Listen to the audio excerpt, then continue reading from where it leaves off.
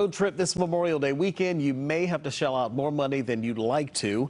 Tonight's consumer investigator Steve Sbraccia is getting answers about how to get the most mileage out of that tank of gas when you travel. With gas prices on the increase, filling your tank can now become more expensive. So you want to maximize your fuel economy by being proactive. Number one, drive the limit.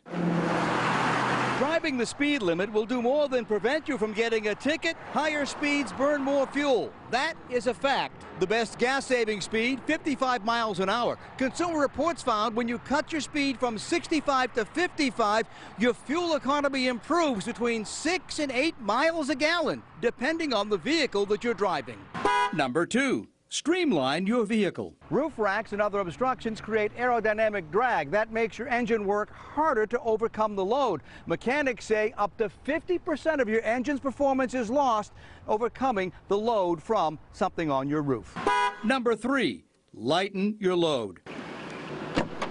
Look at all this stuff in the trunk. Even new automobiles don't come with a spare tire anymore to try and reduce the weight and make them more fuel efficient. All that stuff in the trunk just adds extra weight and it can cut your fuel efficiency by 2%. So clean it out, buddy.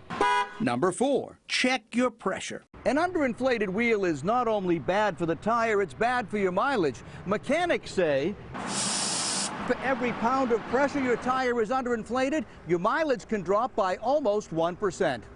Number five, We'll see about AC. Using the air conditioning does consume gasoline. Under very hot conditions, studies show that using the AC will cut your fuel economy by 25%, particularly on short trips. So, if you're making a short hop, try rolling down the windows instead of using the AC. There are lots of other tips for getting good gas mileage, and I've included links to some of them in today's web story. Working for you, I'm consumer investigator Steve Sbraccia.